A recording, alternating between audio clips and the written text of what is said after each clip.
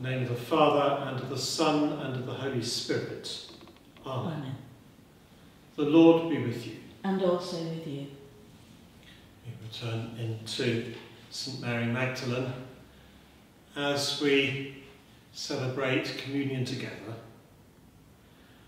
on this day, the 16th of July. Church remembers St Osmund, who was the Bishop of Salisbury at the end of the 11th century, dying in 1099. In particular, he was remembered for working out the liturgy of the church in that diocese, which became the way that communion was celebrated across England before long.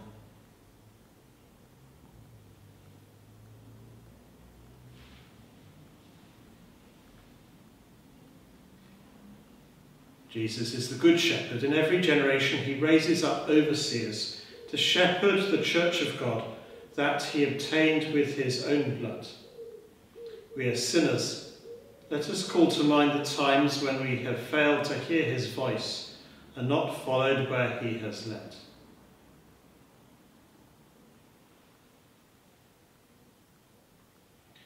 Lord Jesus, you call by name those who are yours.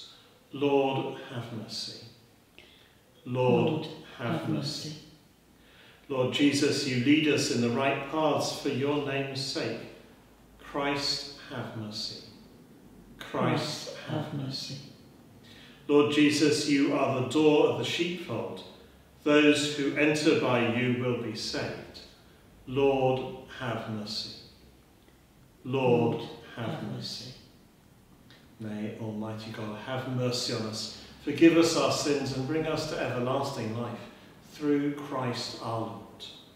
Amen. Amen.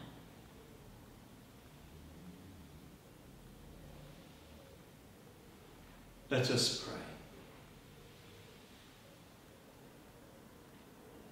Almighty and everlasting God, by whose Spirit the whole body of the Church is governed and sanctified, hear our prayer which we offer for all your faithful people, that in their vocation and ministry they may serve you in holiness and truth, to the glory of your name. Through our Lord and Saviour Jesus Christ, who is alive and reigns with you in the unity of the Holy Spirit, one God now and forever. Amen. Amen. Now we go to your homes as we listen to the readings for today.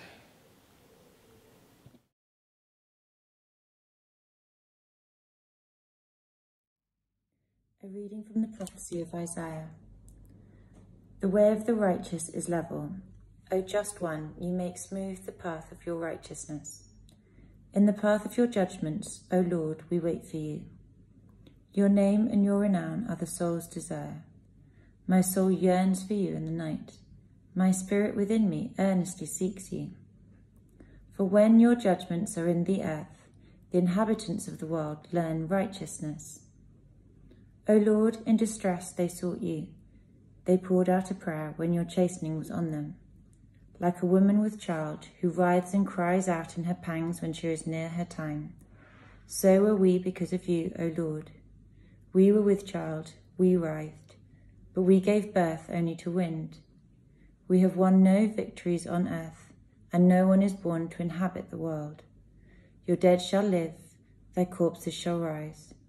O dwellers in the dust, awake and sing for joy, for your dew is a radiant dew, and the earth will give birth to those long dead.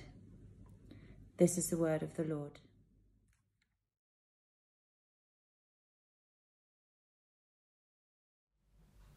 You will arise and have pity on Zion. It is time to have mercy upon her. Surely the time has come.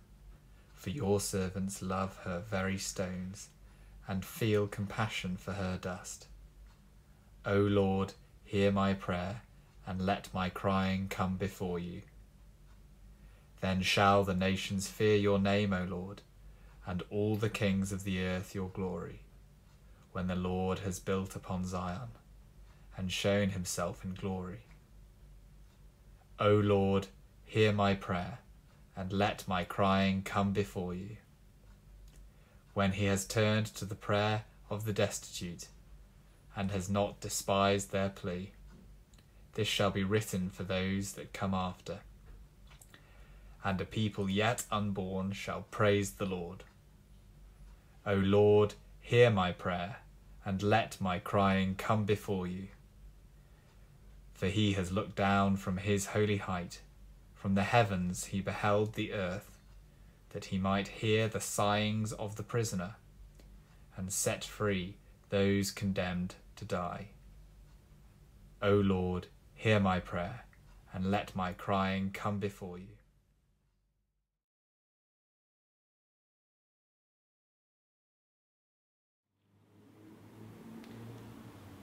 Alleluia, Alleluia. We do not live by bread alone, but by every word that comes from the mouth of God. Alleluia. Alleluia. The Lord be with you. And also with you. Hear the gospel of our Lord Jesus Christ according to Matthew. Glory to you, O Lord. Jesus said, Come to me, all you that we are weary and are carrying heavy burdens, and I will give you rest. Take my yoke upon you and learn from me, for I am gentle and humble in heart, and you will find rest for your souls. For my yoke is easy and my burden is light. This is the gospel of the Lord. Praise to you, O Christ. May I speak in the name of God the Creator, Jesus the Christ, and Holy Spirit the Comforter. Amen. As I listen to today's Gospel reading, I keep wondering about Stephen Cottrell, our new Archbishop of York, as he humbly takes up the Braganza Crozier, signifying his status. I watched his confirmation of election service last Thursday and was, as always, in awe of Stephen. How can a man undertaking a task of such magnitude as Stephen has just accepted hear Jesus say that my yoke is easy and my burden is light without some scepticism? What a tall order, following the giant footsteps of John Sentamu. Surely the role of Archbishop of York must make even the strongest tremble in their boots. Knowing the challenges the English and in fact the worldwide church faces. I know Stephen a little because he is president of the College of Preachers, to which I and many others belong. He's a super preacher and evangelist, carrying the burden of his responsibilities lightly, or so it seems. What, I wonder, is his secret? Perhaps it is something about an individual's response to Jesus. This short gospel passage is the last three verses of Matthew chapter 11. Now, Matthew chapter 11 explores various responses to Jesus and his kingdom message. And it concludes with this invitation to accept Jesus and, in so doing, to find rest. Many people interpret this to mean that following Jesus is easy. But that is not quite what he says. Yes, we are invited to come to Jesus, to acknowledge our weariness and place our burdens at his feet. And there are so many heavy burdens we carry around with each day.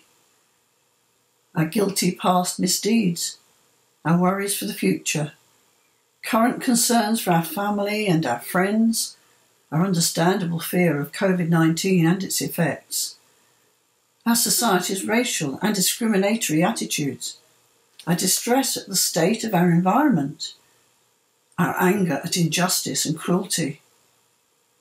So many, we cannot possibly address them all. When we consider Jesus' easy yoke with the promise of rest, we would be forgiven for noticing that this less than rigorous ethic clashes with the challenges handed down to the twelve disciples in just the previous chapter of Matthew. In that, the disciples were urged to proclaim the good news, to cure the sick, to raise the dead, to cleanse the lepers, and to cast out demons. That doesn't sound very less restful at all, does it? How can Jesus offer rest when he asks so much? What Jesus offers is not freedom from work, but freedom from unrewarding labour. Such work can be soul destroying, perhaps because we're ill suited to it or motivated by fear or other negative emotions, a sense of futility or failure, perhaps. And there's also the weariness that comes from having nothing at all to do that really matters, or from being unemployed. The easy yoke means having something to do with a purpose that demands your all, that calls forth your best efforts, a challenge, or it might be motivated by a passion. Perhaps that is why Archbishop Cottrell is not overwhelmed by the task ahead.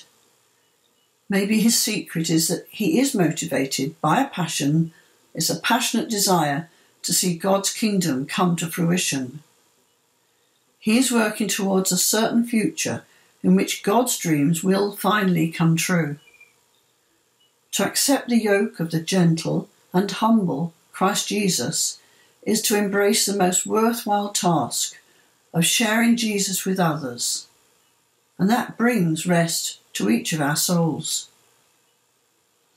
I know that as Archbishop of York, Stephen, and all the newly licensed lay ministers of the church, including our own Nicola McNally, of course, will work very hard, but they will work very hard for the coming of the kingdom, and will find Jesus' yoke a perfect fit and will find the burden light and the yoke easy to bear.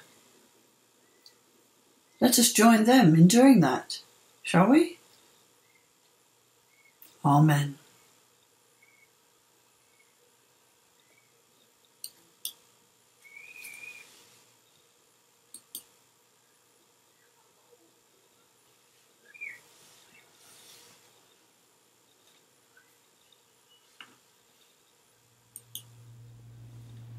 Let us pray. Heavenly Father, in every age you raise up pastors and leaders for your church to reflect the light of Christ and to lead us in the way of holiness. We thank you for those who have been shepherds of your flock. Bless your church today with gifts of care and nurture. Give a pastoral heart to bishops, priests and deacons and strengthen all who are called to be leaders of your people. This time we remember those who would have been ordained at this time and those in other provinces who were ordained at Petertide. We pray for those beginning new ministries, especially for Nicola from this congregation as she begins her ministry in Tideswell. Lord, hear us. Lord, graciously hear us. Thank you for the gift of grace in the life of St. Osmund. Give wisdom and insight to all in authority in church and state. And particularly at this time, we remember Archbishop Stephen Cottrell, who's recently taken up his role as Archbishop of York. We pray for his care over this province and his role in the church in our nation and internationally. Lord, hear us. Lord, graciously hear us.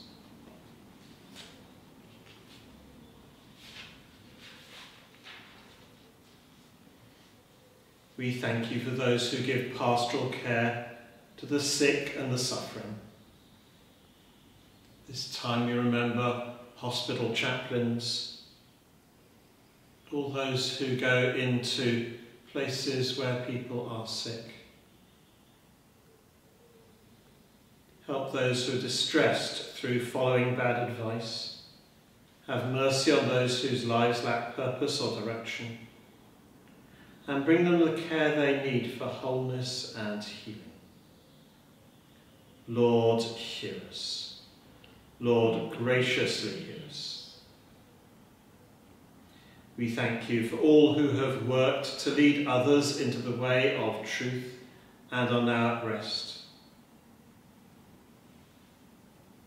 Remembering among them those who have had pastoral care of these parishes in their time.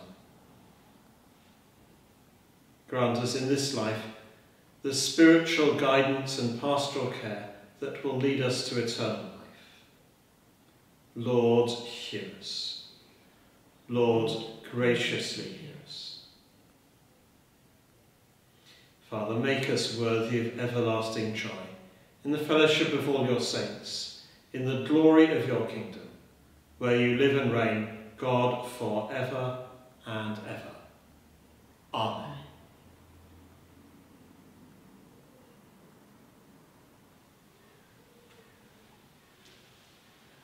Christ is our peace. He has reconciled us to God in one body by the cross. We meet in his name and we share his peace. The peace of the Lord be always with you. And also with you. The Lord be with you. And also with you. Lift up your hearts. We lift them to the Lord. Let us give thanks to the Lord our God. It is right to give thanks and praise. Blessed are you, Lord God, our light and our salvation. To you be glory and praise forever. From the beginning you have created all things, and all your works echo the silent music of your praise. In the fullness of time you made us in your image, the crown of all creation. You gave us breath and speech, that with angels and archangels and all the powers of heaven, we may find a voice to sing your praise. Holy, holy, holy Lord, God of power and might. Heaven and earth are full of your glory. Hosanna in the highest. Blessed is he who comes in the name of the Lord. Hosanna in the highest. How wonderful the work of your hands, O Lord. As a mother tenderly gathers her children, you embraced a people as your own. When they turned away and rebelled, your love remains steadfast. From them you raised up Jesus, our Saviour, born of Mary, to be the living bread in whom all our hungers are satisfied. He offered his life for sinners, and with a love stronger than death, he opened wide his arms on the cross. On the night before he died, he came to supper with his friends, and taking bread, he gave you thanks. He broke it and gave it to them, saying, Take, eat. This is my body which is given for you. Do this in remembrance of me.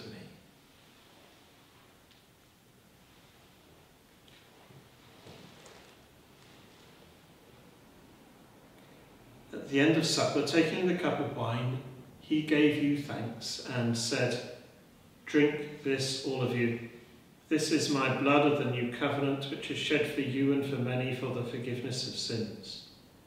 Do this as often as you drink it, in remembrance of me.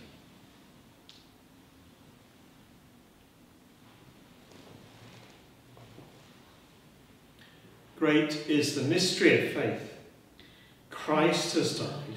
Christ is risen. Christ will come again.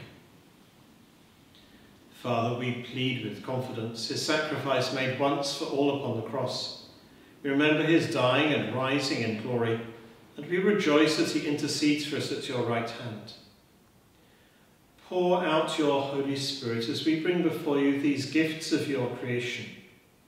May they be for us the body and blood of your dear Son.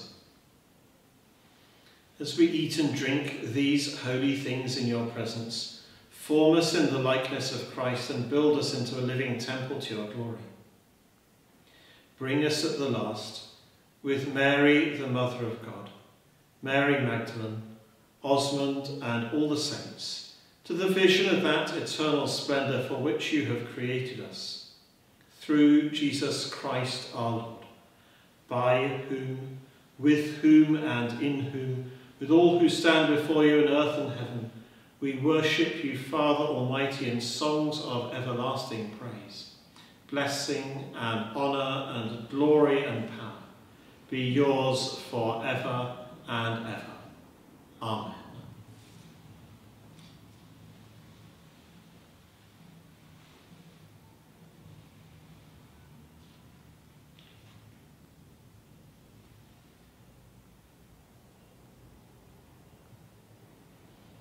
Let us pray with confidence as our Saviour has taught us. Our Father, who art in heaven, hallowed be thy name. Thy kingdom come, thy will be done on earth as it is in heaven. Give us this day our daily bread, and forgive us our trespasses, as we forgive those who trespass against us. And lead us not into temptation, but deliver us from evil. For thine is the kingdom, the power, and the glory, for ever and ever. Amen. We break this bread to share in the body of Christ. Though we are many, we are one body, because we all share in one bread. Lamb of God, you take away the sin of the world. Have mercy on us. Lamb of God, you take away the sin of the world. Have mercy on us. Lamb of God, you take away the sin of the world. Grant us peace.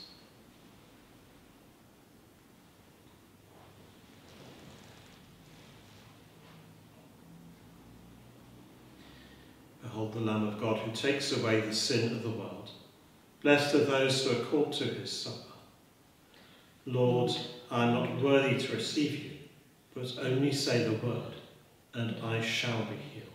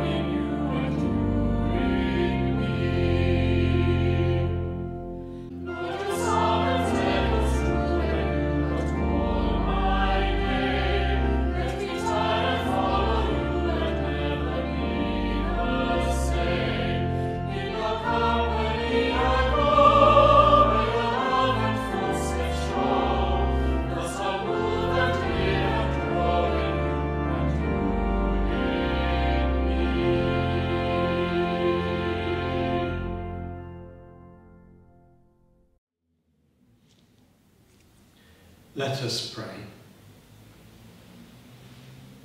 Grant, O Lord, we beseech you, that the course of this world may be so peaceably ordered by your governance, that your church may joyfully serve you in all godly quietness, through Jesus Christ our Lord. Amen. Reminder that Bishop Paul will be joining us at Bunny on Sunday at 10.30 as we celebrate the feast of St Mary Magdalene. There are still quite a number of places there, so if you'd like to come, um, do follow the instructions on our news sheet um, to book a place. Um, there's probably a reasonable chance, even if you don't book a place, that you'll get one, but you may want to guarantee your spot. Next week is the feast of St James, and so our midweek service will be at the end of the week and will go online on Saturday.